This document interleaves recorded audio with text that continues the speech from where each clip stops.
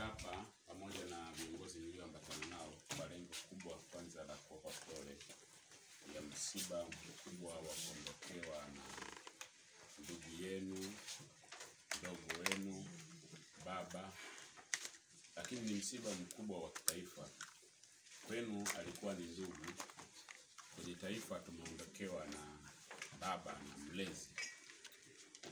Kwa hiyo msiba mkubwa sana. Kwa hiyo pokeeni pole kwanza za wana Mtwara, lakini kama mlivyoona kwenye vyombo vya habari, Mheshimiwa Rais akitangaza msiba huo, ni msiba mkubwa wa kitaifa ambao tutakuwa na maombolezo kwa siku saba. Lengo lililotuleta hapa ni kufanya maandalizi, na tumeambiwa kwamba marehemu alishasema atazikwa hapa, lakini pia kufanya maandalizi kulingana na utaratibu za kifamilia. Wakati maandalizi ya serikali yanafanyika, lazima tuendelee kuzingatia taratibu za. Kwa hiyo kilichotuleta hapa ni kuzijua hizo taratibu za kifamilia, tukazilinganisha na utaratibu wa serikali. Ndugu yetu, baba yetu, mlezi wetu kwenye makazi yake ya milele.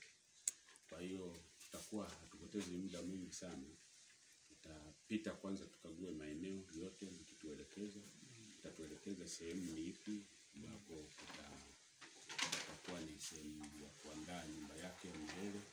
wahusika wapo wa kufanya hiyo kazi, lakini tutapangiana majukumu kulingana na hayo mahitaji yatakayokuwepo pamoja na na